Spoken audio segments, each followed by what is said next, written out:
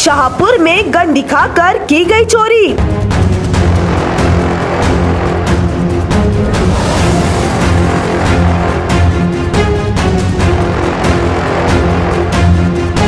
Gun के साथ चोरों का वीडियो वायरल।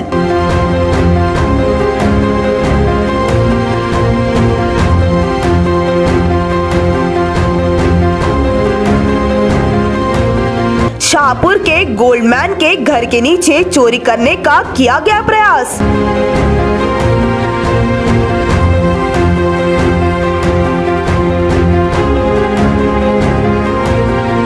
घर मालिक को संदेह होने पर गन दिखाकर फरार हुए चोर।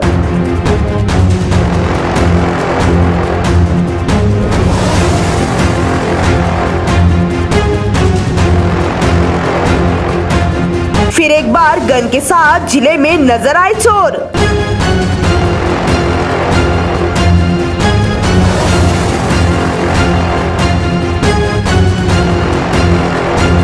घटनास्थल पर पुलिस अधीक्षक व अपर पुलिस अधीक्षक ने पहुंचकर लिया जायजा।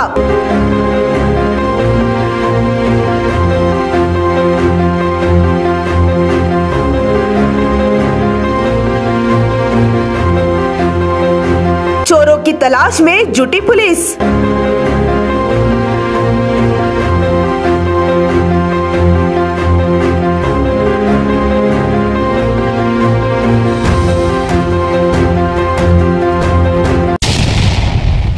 भंडारा ज़िले में शाहपुर के शशि राजूरकर गोल्डमैन के नाम से जाने जाते हैं। इनके घर के नीचे दो चोरों ने शटर का ताला तोड़कर चोरी करने का प्रयास किया।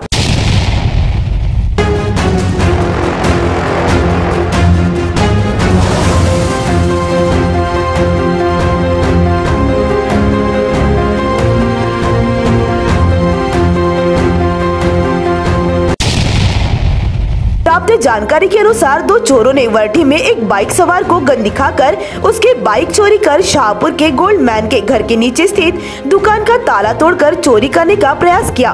बताया जा रहा है कि इन चोरों के हाथ में गन व लोहे की रॉड थी, जो कि सीसीटीवी कैमरे में साफ़ साफ़ देखी जा सकती है। दुकान की शटर तोड़ने की आवाज़ से घर मालिक ने अपने परिजनों को इसकी जानकारी दी, जिसके बाद चोरों को रोकने का प्रयास किया गया तो चोरों ने घर मालिक व उनके परिजनों को गन दिखाकर बाइक पर बैठकर घटना स्थल से फरार हो गए। स्थायी घर मालक का कहना है कि अगर इसी तरह से ज़िले में चोर गन लेकर घूमते रहे तो क्या नागरिक सुरक्षित रह पाएँगे? इस घटना से पूरे भंडारा ज़िले में सनसनी मच गई है। ज़िले में फिर एक बार चोरों के हाथों में गन नज़र आई है।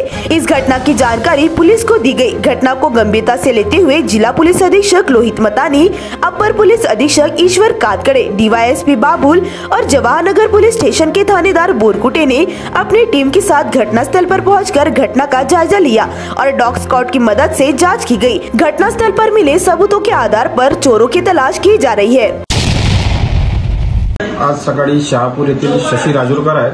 त्यांचं जे शहापूरला बाजार मार्केटच्या परिसरामध्ये घर आहे आणि खाली पानठेला आणि दुकानाची चाड आहे. त्यामध्ये सकाळी साडेचार वाजताच्या दरम्यान दोन इसम आले होते.